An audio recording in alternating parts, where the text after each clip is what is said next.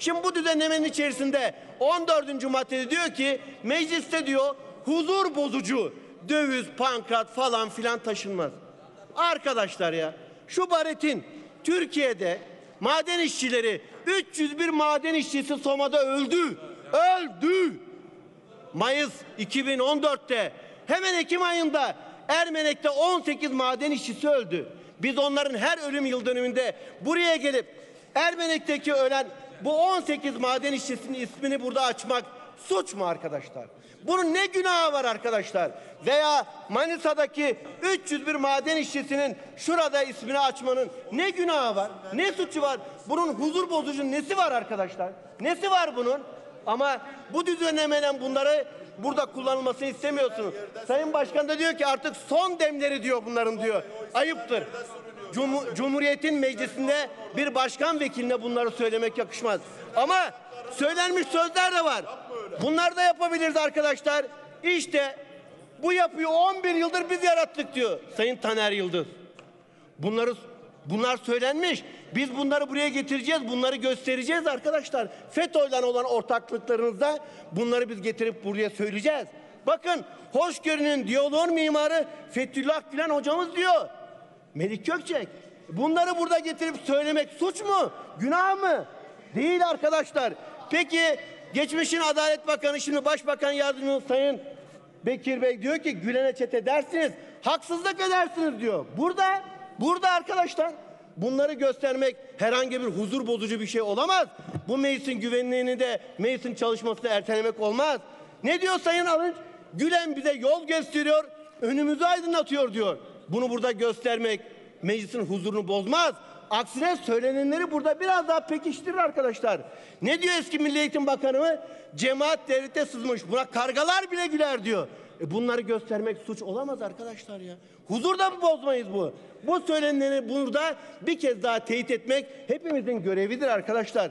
Ne diyor genel başkanımız? Ne istediler de vermedik diyor. Demedi mi? Varsa bir yalan, varsa bir iftira söyleyin deyin ki arkadaşlar iftira ediyorsun, yalan söylüyorsun deyin. Tamam geri alacağım o zaman. Peki ne diyor? Arınç başbakan selamlarını gönderdi. Bir emirleri olur mu öğren dedi. Varsa bir yalan, varsa bir iftira, çamur varsa söyleyin özür dileyim arkadaşlar. Değil. Ne diyor Erdoğan? Fethullah Gülen'e seslendi. Bitsin bu hasret diyor. Bitsin bu hasret diyor. Bozmaz arkadaşlar bunlar. Söylenmiş olan sözleri bizim burada tekrarlamamız gerekiyor. Buyurun. 25 Aralık açık ve net söylememiz gerekiyor. Rüşvet ve yolsuzluk hırsızlıktır. Hiç saklamaya gerek yok. Hiç açık ve nettir. Ayakkabı kutularında, yatak odalarında, para sayma makinalarında milyon dolarlar baba ile oğul arasında geçen oğlum paraları erittin mi?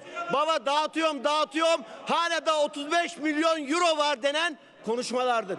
Bu konuda savunacak hiçbir şeyiniz yok. Hiçbir Cumhuriyet Halk Partisi'ne FETÖ kayığa binmez. Bakın bir şey söyleyeyim. Bugünkü Bakanlar Kurulu'nda ve burada bulunan parlamenterlerin içerisinde kötü niyetle yaptılar demiyorum. Demiyorum. Fethullah Gülen'le ilişkisi olmayan insanları burada parmakla göstermek mümkündür hocam. Hiç inkar etmeyin, hiç gizlemeyin. Fethullah Gülen'in Pensilvanya'ya gidip de yatağında hırkasını giyip şeyini takkesini giyip de efsunlanmak için giden milletvekilleriniz ve bakanlarınız var hocam. Hiç inkar etmeyin, hiç bunları gizlemeyin. Yolunuz ayrıldı. Bir iktidar savaşında iktidarı paylaşamadınız ve parayı paylaşılmadı, iktidar paylaşılmadı.